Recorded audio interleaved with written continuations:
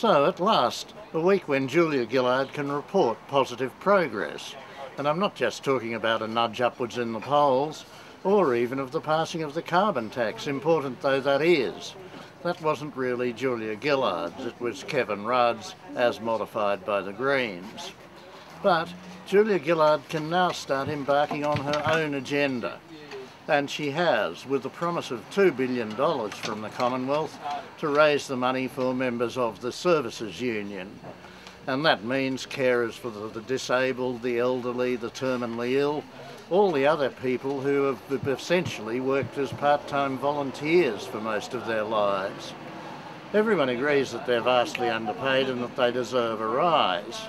And Julia Gillard has now put her weight behind getting them a rise, but not only that, she's dressed it up as an equal pay issue because almost all of these people are in fact women. So Julia Gillard has now got her own agenda going, finally.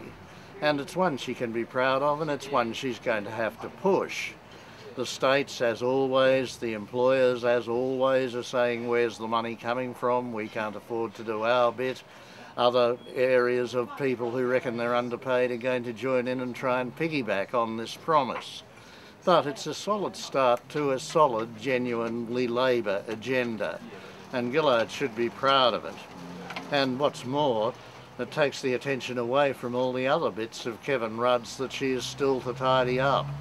The asylum seekers and the miners tax.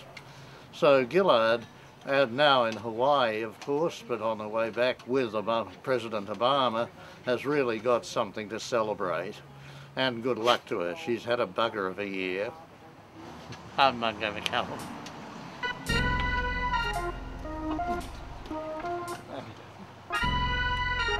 Thank